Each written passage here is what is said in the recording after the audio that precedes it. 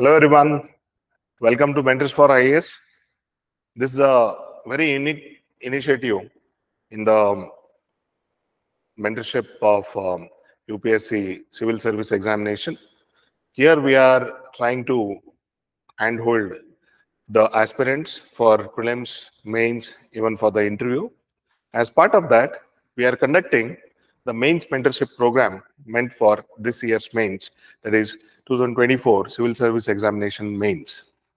As part of this, we are conducting few sessions with respect to answer writing, essay, ethics, etc. As part of that, I have done few sessions on like how to add the illustrations and what is the importance of the presentation skills, even with respect to how to write how many words, how many pages, in how many minutes, for how many marks, all that thing we have discussed. Similarly, I am going to tell you about the importance of context writing in the answers. So especially when we take up the GS papers, there are three GS papers, one, two, and three. So in every paper, we have 20 questions. So there are around 60 questions. When you give the task of making the questions to any UPSC question paper setup, rather than going for the age-old issues, rather than going for the textbooks, rather than going for very basic concepts, the question paper setter would remember the issues which are going on right now, or he will refer to the current affairs. So current affairs will be there in our short-term memory also, and our mind will be relentlessly thinking on the current affairs. So if I have been given a task of you know like making few questions for UPSC, definitely I would refer to some of the recent issues. So when it comes to let's uh, uh, let's take the elections, general elections. So in general elections, like I will try to you know like bring in few of the reforms that have been implemented in the general election 2024.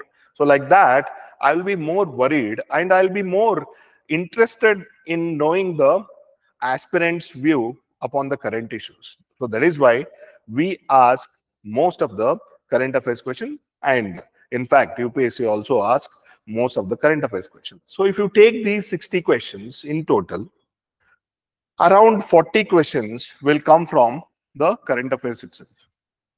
And if you consider the subjects like geography, history, there will be very few issues with respect to geography, history, art and culture, sort of that. So there, they will be going for some of the textbookish questions. But when it comes to the issues like polity, economy, environment, science and tech, internal security, society, so on so forth, they will be worried more about the present situation and they'll ask the question.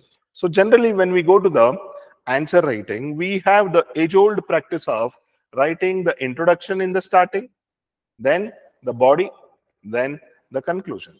So this is like our university practice. But what do we write in the introduction? So if something is asked, either we define it or we write the historical background of it. So everybody does this only.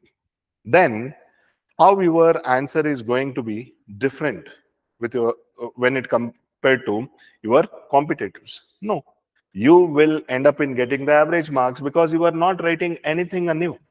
So if the question is asked on democracy, you will write about Abraham Lincoln. So Abraham Lincoln defined democracy as blah, blah, blah, blah. Then if the question is asked on social justice, so you will quote the John Rawls, John Rawls theory. Or if you are asked about constitution, you will write about Ambedkar. If you are asked something about the national movement, you will write about Gandhiji.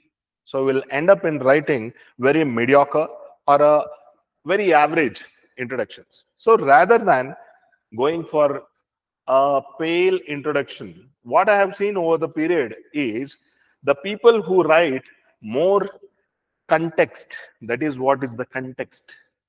This context tells about why this question has been asked. Why this question? Why?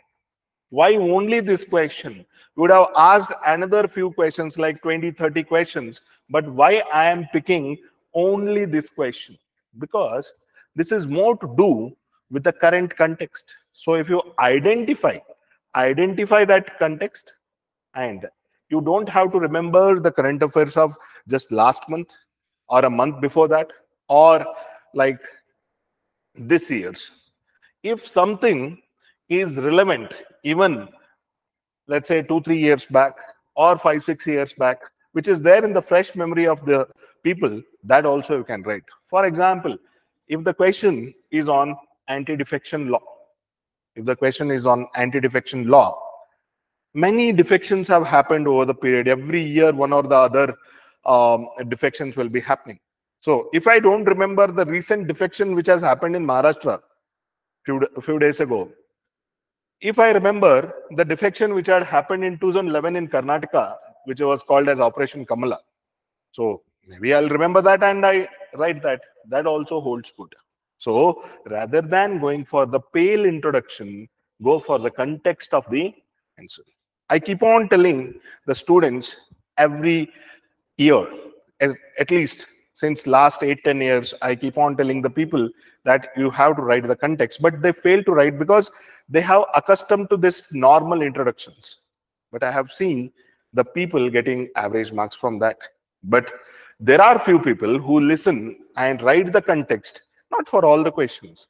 At least for 60% of the questions they are getting more marks because this is the first paragraph that the evaluator is reading. And from the line one the evaluator will understand that you are not like others. You are trying to give something special in this answer. So that is how you will end up in getting more marks so listen to us so rather than going for the age old practices bring in new dimensions bring in new innovations in answer writing then only upsc is going to make you uh, uh, uh, or evaluate you in a different pedestal. So that is why we request you that. So for the hints like this or for the trend checking like this or the analytics like this, so kindly reach us. So we'll be conducting the mains mentorship program for 2024. So kindly subscribe to our course to find such more strategies tricks and trades of UPSC, what we have seen in last 13 years. Thank you. All the best.